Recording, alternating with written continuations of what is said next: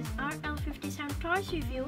You might remember my last review I had the Ford Mustang Boss 302 Gulf, the error on the hood. So today I have I have bought an, another one to make a co comparison. The Gulf 69 Ford Mustang Boss 302 and you can see the hood so today we're going to open this up and make a comparison.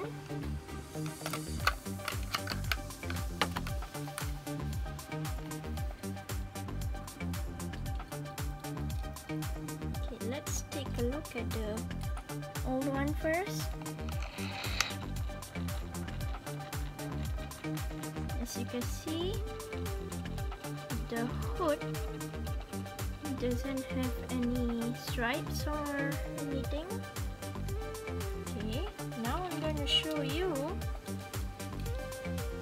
the, the non the non-ever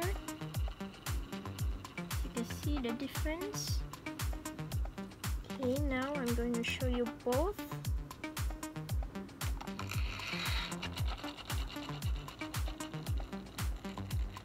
can see the difference on the hood.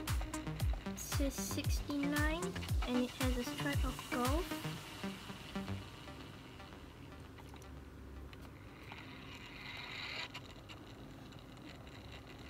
Those are the difference from my Ford Mustang Boss 302 so now I have two of them the same thing.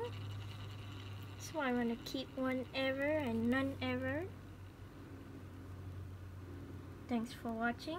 See you on my next review. Don't forget to subscribe. Bye bye.